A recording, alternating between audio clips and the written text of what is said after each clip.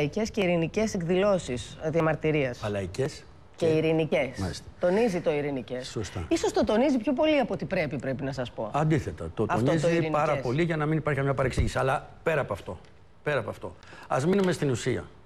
Όλα αυτά που γίνονται, ότι έρχεται εσπευσμένα η κυρία Μέρκελ, ενώ πριν 15 μέρες τα συζήτησε με το Σαμαρά, που ήταν στο Βερολίνο, τα συζήτησε και της είπε ήμαρτον, της είπε ήμαρτον για το πρώτο μνημόνιο που δεν το ψήφισε.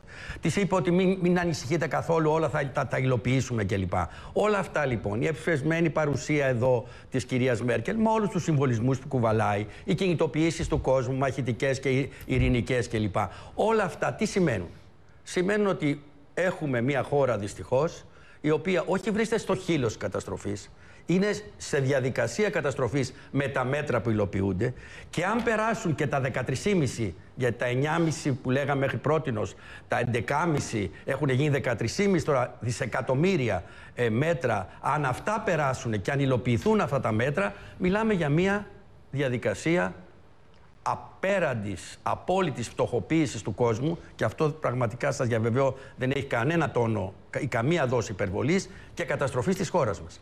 Μαζί με αυτά υπάρχει μια διαδικασία εκποίησης κατά τη γνώμη μας του δημόσιου πλούτου, οτιδήποτε δημόσιο υπάρχει σε αυτόν τον τόπο και υπό τα συνθήκα στις οποίες θα γίνει, θα γίνει και κόψοχρονιά στη τελευταία ανάλυση. Θέλω να πω λοιπόν ότι στο υπόβαθρο όλων αυτών βρίσκεται αυτή η διαδικασία καταστροφής της χώρας με πολιτικές που έχουν ακολουθηθεί και έχουν υλοποιηθεί τα τελευταία δύο-δυόμιση χρόνια. Πολιτικές που πέρα από τον αντικοινωνικό, πέρα από τον αντιλαϊκό τους χαρακτήρα είναι όπως πλέον αναγνωρίζουν όλοι και αναποτελεσματικές.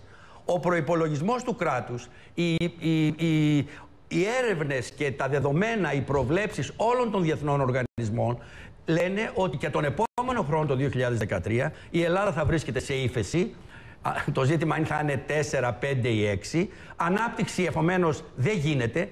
Και ακόμα και οι πρωτοετής των οικονομικών σχολών ξέρουν ότι με πολιτικές λιτότητας και μάλιστα άγριας και μάλιστα μονόπλευρης λιτότητας όπως αυτές που υλοποιούνται όλα αυτά τα χρόνια, αναπτυξιακή άβρα, αναπτυξιακή στροφή, αντιφεσιακή πνοή δεν μπορεί να υπάρξει. Δηλαδή τα μέτρα αυτά σημαίνουν βάθεμα της ύφεσης, βάθεμα της αντιαναπτυξιακής, αντιαναπτυξιακής, αντιαναπτυξιακής κατάστασης στη χώρα μας, σε μια προσπάθεια, λένε, να γίνουμε ανταγωνιστικοί με τους Ινδούς και τους Κινέζους ως Ευρώπη. Άρα είναι πολύ δικαιολογημένοι. Μπορούν, κύριε Βαλάβα, να δοθούν και αυξήσεις. Δηλαδή, μπορούν να, να σταματήσουν οι φόροι να μπαίνουν και να επιβαρύνουν τον κόσμο και να δοθούν αυξήσεις, να επαναφέρουμε τους μισθούς σε προηγούμενες καταστάσεις.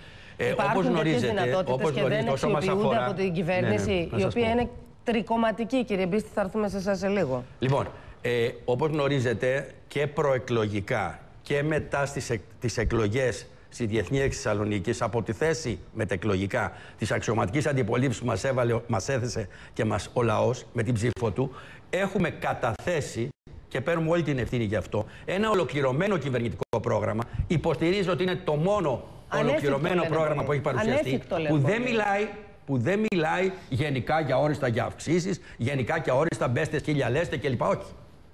Όχι, εμείς δεν έχουμε σκοπό να κάνουμε τι πελατειακές σχέσεις που έκανε το Πασό και η Νέα Δημοκρατία και μεταξύ των άλλων αιτίων ρημάξαν τη χώρα, διότι είπατε προηγούμενα ότι μας δίνουν τα λεφτά τους και αν θα έχουμε μούτρα. Κοιτάξτε, πέραν όλων των άλλων, εγώ δεν έχω πρόβλημα ούτε με το γερμανικό λαό, ούτε γενικά με την κυρία Μέρκελ.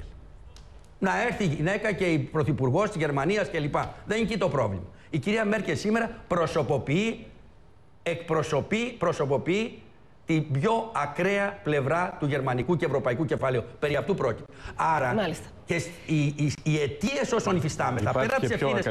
Πέρα από τις ευθύνες Πέρα πάντα υπάρχει Κύριε αυτό ακραίο. Να το δεχτώ. Και, και, ε, ολοκληρώστε τη σκέψη σα όμως, γιατί πρέπει να πάμε σε διαφημίσεις και θέλω μια πρώτη ναι. τοποθέτηση από τον κύριο Μπίστη. Ναι, απλώς να ολοκληρώσω τη φράση μόνο. Θέλω να πω, χωρίζω και πάλι, σας είπα την άποψή μου για τη Γερμανία, τους Γερμανούς, ακόμα και προσωπικά για την κυρία Μέρκελ. Θέλω να πω όμως ότι και Γερμανι... το γερμανικό κεφάλαιο επί πολλά χρόνια λειτουργούσε σε μια κατεύθυνση χρηματοδότησης της Ελλάδας. Με, με ποιο τρόπο όμως, τη χρηματοδοτώ για να αγοράζει τα προϊόντα μου. Μάλιστα. Και πρώτα απ' όλα τα προϊόντα που είχαν σχέση με την άμυνα ή τις στρατιωτικές δαπάνες της χώρας